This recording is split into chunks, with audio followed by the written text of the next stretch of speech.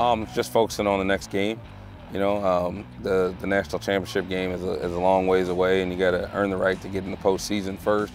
I mean, the expectation each and every year is to win a national championship, but you know it's a process and going game by game each and every time. I wouldn't say pressure. I think it's more excitement. I think we're ready to see where that takes us, and it comes with pressure, but I think we're ready to take that and kind of go all the way with it. Um, it kind of adds more fuel to the fire for us, if anything.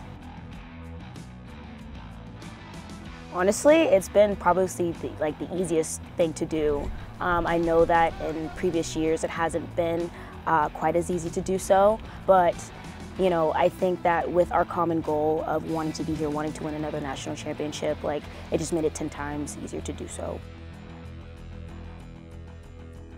We have a lot of talent, we have a lot of girls that can play a lot of positions, so I think we're just trying to constantly put fresh legs out there and I think we have a ton of depth. I think that's really a strength that we have that we may not have had so much in years past. Truly, I think our competitiveness, uh, we each have a fire that is just burning inside of us um, and we want to compete every day. You know, if you see our practices, like it's, it's like we're playing in a game every single day. Um, but I think that will truly take us as far as we need to go. Right now, uh, it's it's our defense. We've returned a, a stellar group.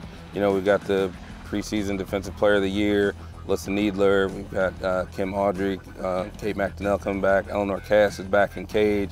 You know, we added Olivia Duarte, um, transfer from Colgate. I think having the championship at Hunter makes it so much more personal to the entire program. You know, we take winning at Hunter very seriously. It's something that we really pride ourselves on is our winning record that we have at home, and I think for us that fuels it more than anything to get to the end, you know, a national championship. So for us, it's, it's really personal and we see that end goal and we're gonna just do everything we can game by game to get there.